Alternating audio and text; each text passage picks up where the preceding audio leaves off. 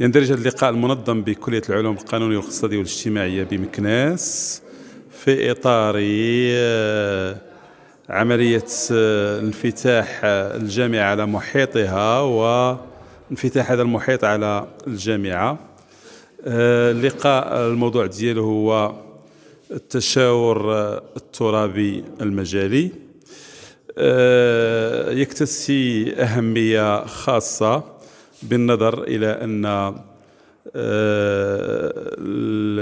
الاهتمامات ديال الفاعلين الترابيين التي تتقاطع وتتطابق أيضا مع اهتمامات الجامعة بالنظر إلى التكوينات آه، المعتمدة على مستوى كلية العلوم القانونية والاقتصادية والاجتماعية. حيث تعتبر التكوينات المتعلقة ب التراب وبالتدبير العمومي على مستوى الترابي ذات أهمية خاصة على مستوى خصوصا على مستوى التخصصات المدرجة في إطار آه، القانون العام. آه، اليوم يتجسد هذا التفاعل بين الأكاديميين والمهنيين التفاعل بين الجامعة ومحيطها من خلال هذا اللقاء الذي نتمنى له آه، النجاح و الخروج بخلاصات واستنتاجات ومخرجات مفيدة للجانبين الأكاديمي والمهني على السواء. آه، يجب الإقرار بأن آه، الديمقراطية التشاركية كآلية لممارسة الديمقراطية إلى جانب الديمقراطية التمثيلية. حديثة التجربة على مستوى المغربي وتتطلب تأهيلا آه، خاصا للمجتمع المدني وللفاعلين في المجتمع آه، المدني وأيضا مواكبة من قبل الدولة ومن قبل أجهزتها وخلق الآليات الضرورية لتحقيق هذه الديمقراطية التشارك على أرض الواقع. بطبيعة الحال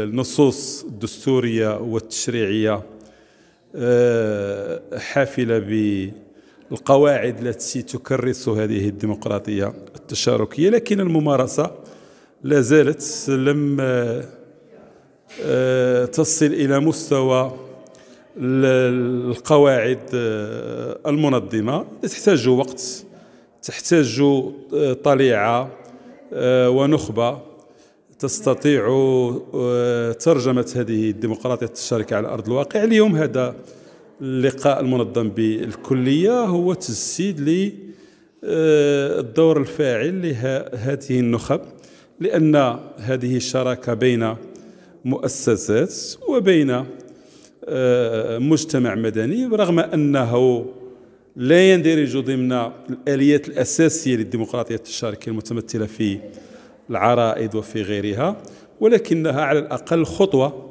هامة لتنزيل هذه الديمقراطية التشاركية على أرض الواقع. من خلال الدورات التكوينية اللي قام بها الفضاء الجمعوي لفائدة المستشارين والمستشارات الجديدات والجدد لاحظنا واحد النقص واحد القصور في الفهم.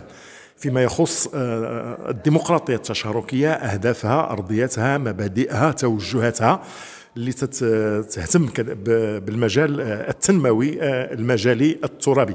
بحكم بأن هذا مرتبط اولا باساسيات التكوين ديال المستشارين والمستشارات وهذا مرتبط كذلك بالأحزاب السياسية اللي تترشح هاد المستشارين دون تمكينهم واحد المجموعة ديال المعارف ومجموعة ديال الآليات التدبيرية على مستوى الجماعات الترابية المرتبطة أساسا بالتنمية ديال المجال وبالتنمية ديال المواطن وبإرساء واحد الأسس تنموية متينة في إطار آه، التوجهات العامة للدولة.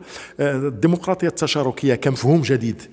آه، مازال خص تدقيق مازال خاص كذلك بحث مازال خاص دراسة مازال خاص إيصال كل المفاهيم المرتبطة بالديمقراطية التشاركية للمستشارين والمستشارات الجماعيات خصوصا اللي عندهم ممارسة جديدة واللي عاد نخرطوا وندمجوا في العمل الترابي. بعكس بأن كاين هناك في السابق كانت الديمقراطية التمثيلية اللي تنعتبروا الديمقراطية التشاركية هي مكمل لهذه الديمقراطية. فنعاود نرجع نقول لك هنا في إطار الفضاء الجمعوي من 2018 وضعنا واحد البرنامج مع الشركاء ديالنا ومن جملتهم الجامعة ومن جملتهم مجموعة ديال الفاعلين آه لعقد دورات تكوينية في هذا المجال واللي عطات واحد النتائج إيجابية. محترمة اللي الناس بداو تي بداو تي تي تعايشوا مع المفاهيم المرتبطة بالديمقراطية التشاركية. الدورة ديال اليوم اللي عندنا الآن هنا في رحاب كلية العلوم الاقتصادية والسياسية والاجتماعية هي جزء من هذا النشاط وجزء من الدورات التكوينية وجزء من البرنامج العام اللي نهض به الفضاء الجمعوي للتنمية التشاركية. نتمنوا بأن نوصلوا في نهاية البرامج ديالنا لتحقيق الهدف ديالنا وهو الوعي بالأهمية ديال الديمقراطية التشاركية الوعي بالأهمية ديال التنمية المجالية والتنمية الترابية وكذلك وعي كل المتدخلين بإعطاء الاهتمام اللازم والاهتمام الكافي لإرساء آه، مفاهيم والدعامات التاطيريه والتكوينية للديمقراطية التشاركية. وهذا سيصب في خدمة المجتمع آه، وفي خدمة الجماعة الترابية وفي خدمة الوطن ككل. كما سبق وقلت أن هذه الدورة آه، تهدف إلى إلى التطرق إلى القانون التنظيمي 113 14 المتعلق بالجماعات الترابية وهي آه، تنقسم إلى شقين. أولا الشق النظري وثانيا الشق التطبيقي. آه، من أجل إغناء معارفنا العلمية فيما يتعلق بتنزيل هذا القانون التنظيمي وكذلك مجموعة من المفاهيم والمصطلحات الكبرى في هذا الإطار.